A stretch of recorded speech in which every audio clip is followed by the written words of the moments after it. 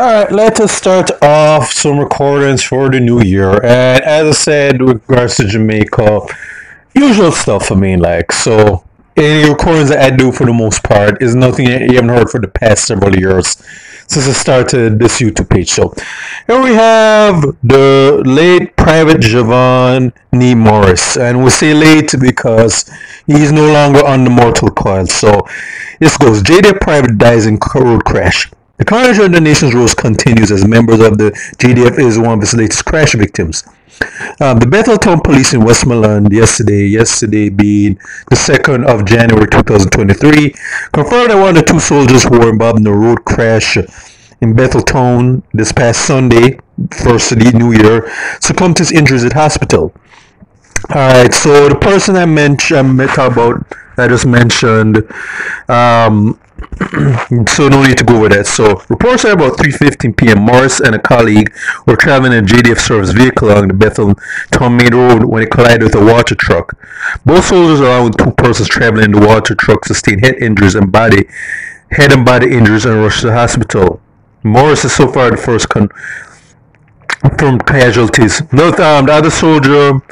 Well, apparently God has plans for his life, and he's still in the land of the living, and as in stable condition. Nothing said about the people um, who um, who were involved the, on the um, on the other side in regards to the water truck. So we can only hope that these two they um, that um, that they didn't end up as unfortunate as Javon Morris. And what's very sad about is that this guy was 20 years old. So that this guy was still in his, basically out of his teenage years and was about and was therefore robbed of a chance to live his full life. And all I can say is that I don't know if he has any children, wife, girlfriend.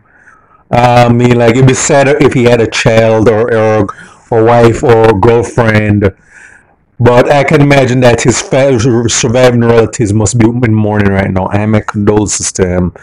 But yeah, if it's not murder and mayhem, is usually bad um, traffic, bad road these road rage incidents because I had to determine who was at fault here. Was it these guys or was it the people driving the water truck? So interesting to see what else turns out if this story continues to trend. But rest in peace to this young brother who again was not really who again was just entering his his adulthood and he's just got cut off just like that. So this is for State of Jamaica in the Caribbean. Check out my other YouTube pages, Miles Gusson Farron, Miles Productions, Real Thoughts and Miles. Alright.